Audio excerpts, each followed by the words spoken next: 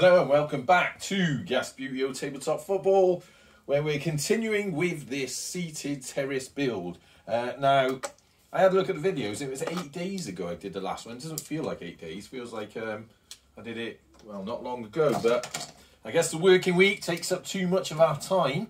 And during the working week, I did get out here and I managed to do a few bits and pieces. And we'll talk through that now. So, uh, last time, what were we were doing last time, I was on about we were going to extend the back. So I've done that. Let me turn it round because there was a spine of the MDF in there. Hope you can see that because I'm not behind the camera. Um, I put in two bits of. It's just a bit of uh, what's that? A bit of pine, bit of timber, scrap pine or something that I chopped up.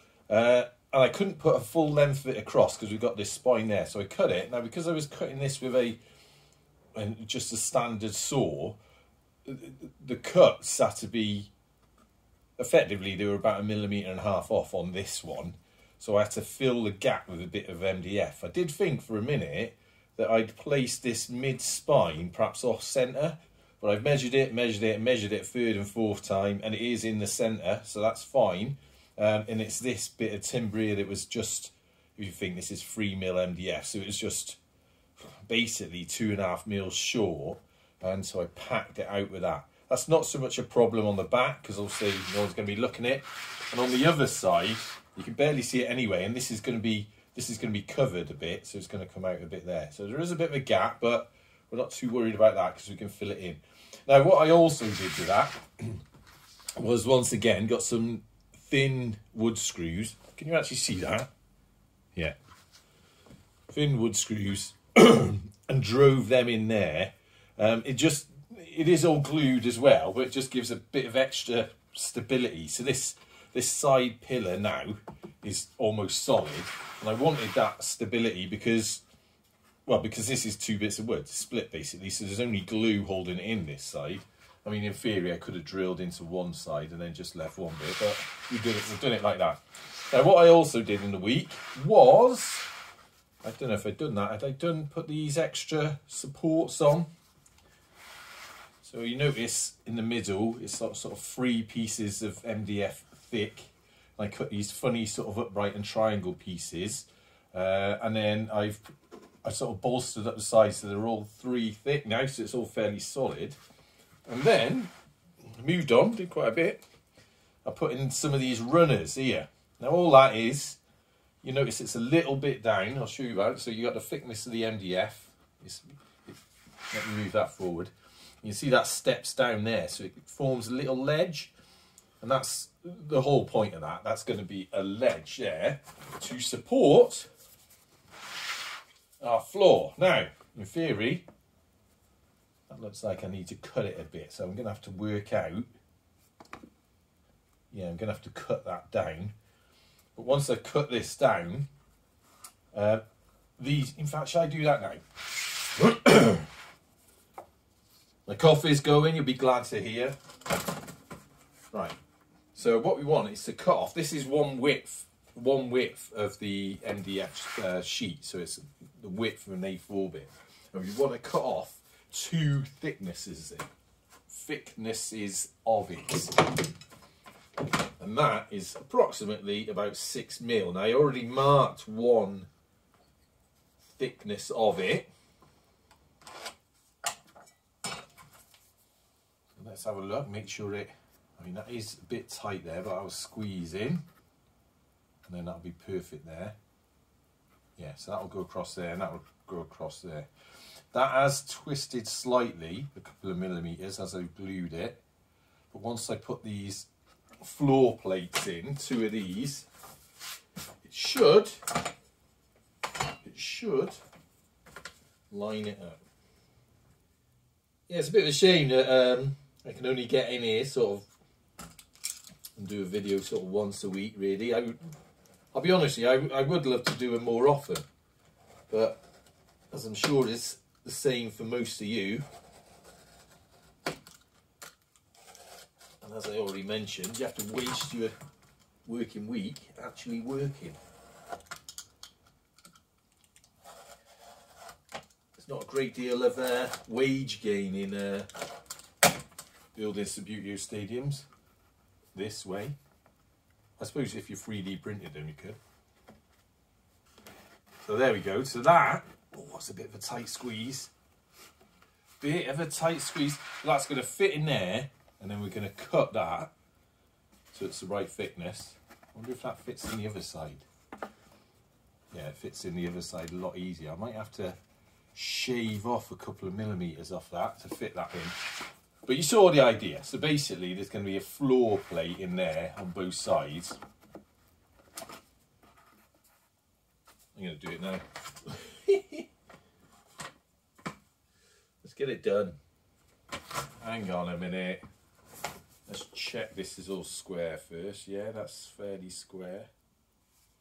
I'm going to say one millimeter comes off that. I am doing this bit sort of on the fly a bit.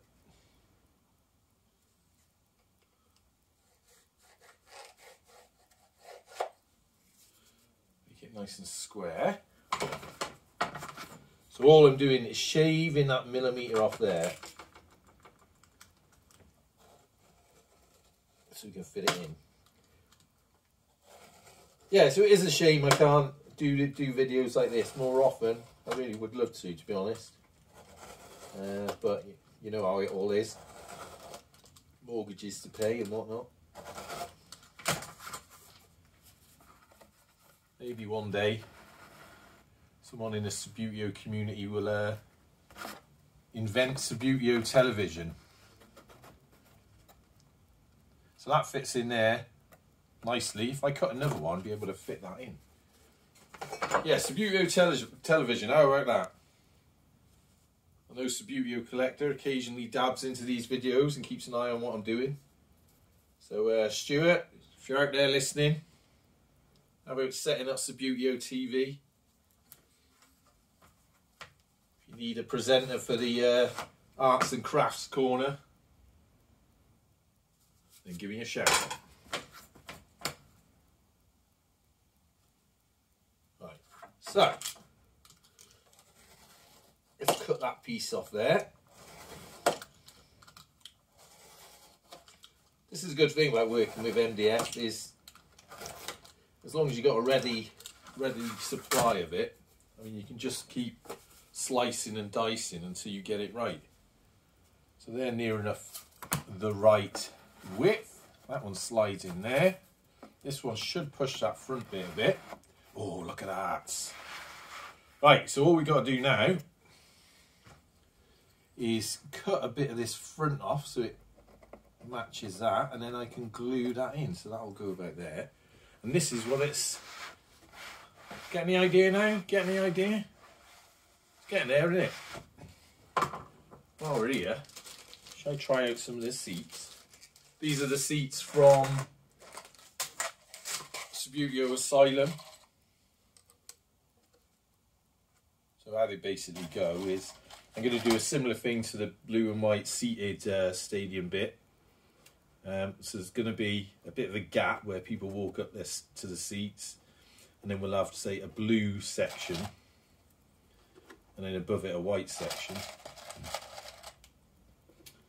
Sort of like this. Obviously they'll be glued down. And it's very similar to the blue and white terrace that I've got over there. In uh, Gasbbuteo Stadium. So that's what it's going to look like. And then up here we'll have, um, I think we'll have a small, what I'll do is, say put a, do another couple of steps, but up here. So we'll have a row of seats up there.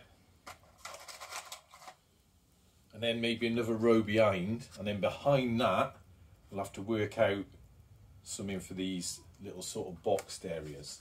So that's going to have a roof going up there. We'll have to get some sort of um, clear plastic of, of some sort to create some windows. I did do something like that before in um, in the original terrace that I built, the Thatcher's one. There is at the back uh, something which I was actually gonna I was gonna have a look at that. It's, it's basically I created like a media center with some cameras in there. And I tried to put some lights in it ages ago, but the battery ran out of them. and I was going to replace them because they weren't very bright. So I'm going to do a similar thing there. So that's where we're at. I hope that is helping you if you are following along. It is starting to take shape. And I think the next stage, what I'm going to do uh, is fill in this back bit, get a bit of the roof on. I don't want to completely, um, it's like the other terrace with the roof on. I haven't glued the roof down because it's useful to be able to get in it and, you know, do whatever you've got to do inside. So we'll perhaps put a fixed roofing part and a back there.